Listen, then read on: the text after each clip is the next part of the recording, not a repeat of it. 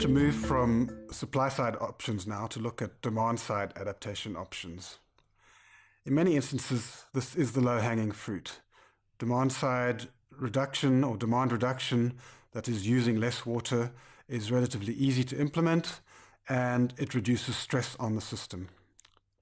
There are two types of demand management we should be talking about, or demand options. The first is the soft option, which is around working with existing equipment, if you like, but using less through changes in behavior. The second is more of the engineering or hard option, which is changing to more efficient equipment in the water use system. I'm going to look at the three main water use domains that we've talked about previously when looking at demand management. The first is urban situations, the second is industrial and business water use, and the third is agriculture. In urban settings, there's no single demand side option that solves all of our problems.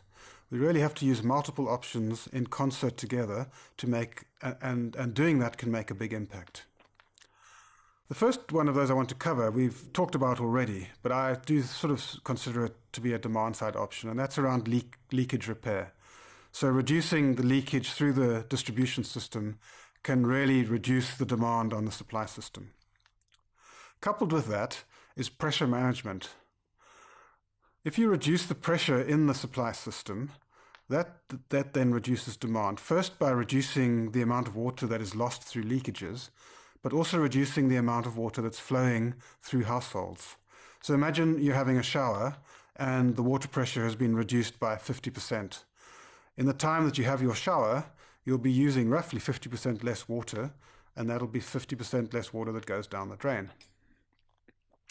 A second entry point to demand management in urban areas is around building standards and regulations. By hard coding water efficient equipment into building standards, all new houses and properties that are built would have higher efficiency.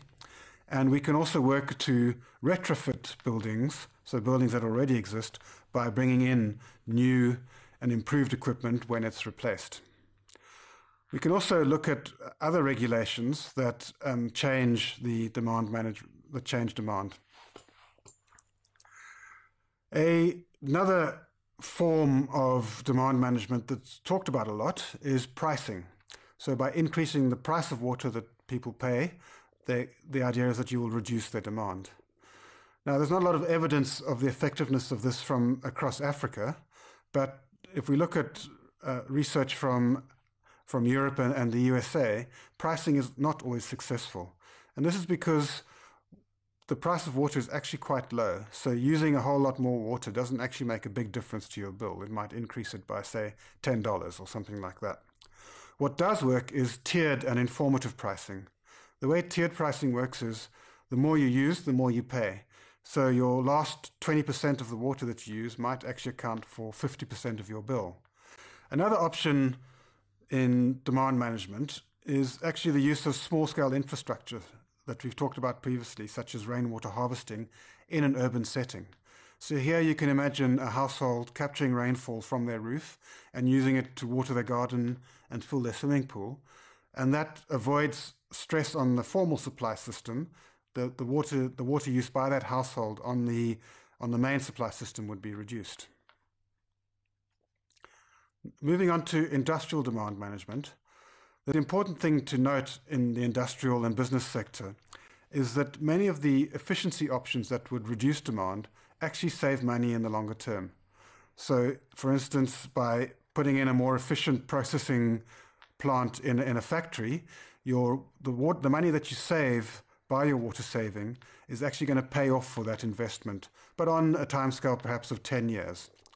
The main problem we have is that most businesses are don't have that kind of long-term thinking. So the accountants and shareholders are interested in profits this year and next year.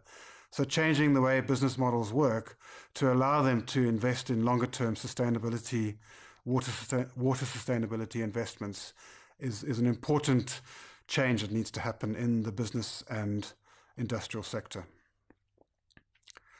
Agriculture is obviously really important. Remember, it's the largest user of water globally. About 70% of all abstracted water goes into agriculture. So even small changes in agricultural water use can make a big difference on the stress on the water supply system. The best or the most important way to do that is through irrigation efficiency. What we mean by irrigation efficiency is the proportion of water that's actually delivered through irrigation to a field that's actually used by the plants. So with something like drip irrigation, where water is supplied through pipes and drips slowly onto the plants in a very targeted manner, the efficiency can be as much as 90%. So only 10% of the water is wasted. In furrow irrigation, where water flows from a canal into a furrow and, and wets the whole field, the efficiency can be below 50% in some cases. So more than 50% of the water is lost and isn't used productively. If we look at different types of farming and how irrigation efficiency might be achieved, in commercial farming, it's essentially driven by the economic bottom line. If it makes sense for a farmer to invest in irrigation efficiency, it's because he's going to make more money. He or she is going to make more money. And there are two ways that that can happen. Firstly, if the supply side increases the price of water, then it makes sense for the farmer to invest in efficiency because their water costs will be driven down. The second is through the use of quotas. Many farmers who get irrigation have a supply quota. So there's a limit to how much water they actually can, can use. And if they want to expand their agriculture or invest in more water intensive cropping, to use the same amount of water, they would have to invest in more efficient irrigation. With smallholder farming, it's more a question, well, water generally is a question of access. Most smallholder farmers don't have reliable access to water.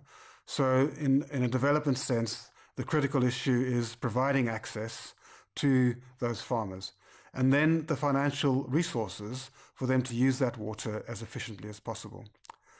So the challenge is really to make sure that water is secured. And then once that water is secured for these small farmers, it's coupled with efficient irrigation.